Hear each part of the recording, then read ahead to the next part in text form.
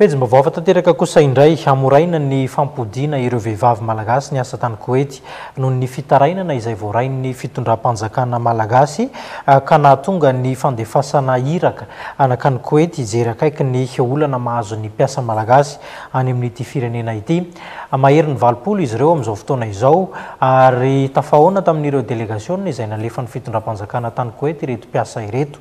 Afaka niresadresaka ny roa tonta tao anatin'izany. Noraisin'ny minisitra lefitra mikasika ny raharaham-bahiny any Koety ny iraka manokan'ny filoham-pirenena Andry Rajoelina mikasika ny fampodiana ny mpiasa malagasy any Koety ny talata lasa teo. Noresahana tao anatin'ny fihaonana ny fanamafisana ny diplaomasia teo amin'ny firenena roa tonta ary indrindra ny momba ny fampodiana ny mpiasa malagasy izay tratran'ny fampijaliana any Koety. Raha ny fantatra dia moraina ny fampodiana ireo vehivavy malagasy niasa tany Koety ireo